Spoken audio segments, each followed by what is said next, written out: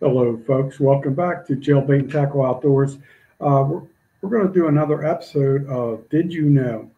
Uh, we're going to, like I said previously, we're always going to mix it up. And um, what we did on a previous episode was talk about the world record black crappie. So now today we're going to talk about the world record white crappie. And uh, I like sharing this information because it kind of educates me to give me a better insight of, uh, you know, species you may want to fish and target in certain states. So uh, right now, we're going to talk about the uh, world record white crappie that was caught in Mississippi. White crappie, it was caught by a gentleman named Fred Bright, and uh, not frugal Fred like me, but Fred Bright. He's may may be way brighter than me, but uh, it was caught at Enid Dam. I, I am not sure if I'm pronouncing that correctly. Correctly, it's E N I D Dam. He listen to this. This will blow your mind. He caught it July 31st, 1957. Five pounds, three ounces. So that gives you an idea. Like uh, some of these records have held for many, many years. So it, uh, there's two ways you can look at it. The way I look at it, man, that's great. You know, guy was doing a good thing. Uh, population, you know, there wasn't probably as many people fishing the fisheries. That's one way you can look at it.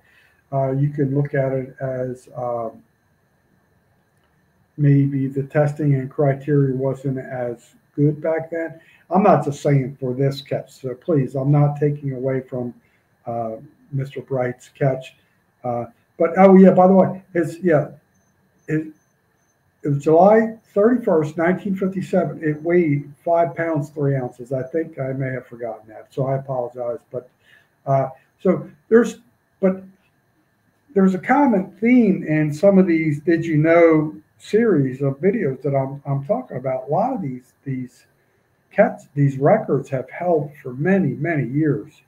So uh, you know, it makes you wonder like, is it contributed to pollution, uh, overpopulation, uh, improper land management? You know, like uh, too much fertilizer.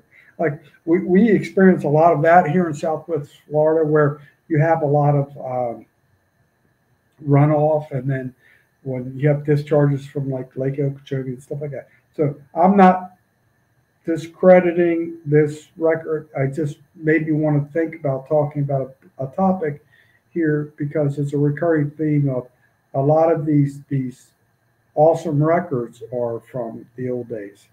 So uh, so what, what, what say you? And uh, it's it's great to see um, I'm trying to represent different states, different species.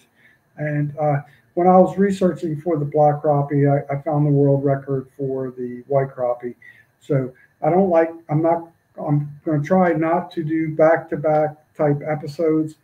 This hopefully will be the, you know, the last back to back episode. I'll try to mix it up with different species, different states. Obviously, these are two different states. I talked about the black crappie in Tennessee uh, the white crappie in Mississippi. Uh, but anyway, I think it's really cool. It was like it's like you, you get to uh, there, there's so many ungivens in life, and when you can um, get a world record at doing anything, I don't care if it's flipping pancakes or whatever it is, you, you know, you're doing something special. So, uh, congrats to you, Mr. Bright, Mr. Fred Bright. And uh, I, you know, I'm not sure if you're still on this planet or not, but you know, uh, we here at Jailbait Tackle Outdoors support you. I know a lot of my friends on YouTube do support you and congratulate you for your effort for catching a world record fish. Uh, so anybody, uh, you know, stay tuned for more Did You Know episodes. There's going to be a lot of more uh, Did You Know episodes related to a lot of other uh, topics. You know, there's it's not just going to be crappie, bass. To we're going to mix it up a lot. We're just starting off with fishing. We're testing the waters, and we're going to share a lot of little different tidbits of trivia uh, mostly, you know, related to the outdoors. But anyway, peace out, folks. We're going to talk to you another time. And uh, as always, you know, make sure you know your legal limits when you're out there fishing on the water.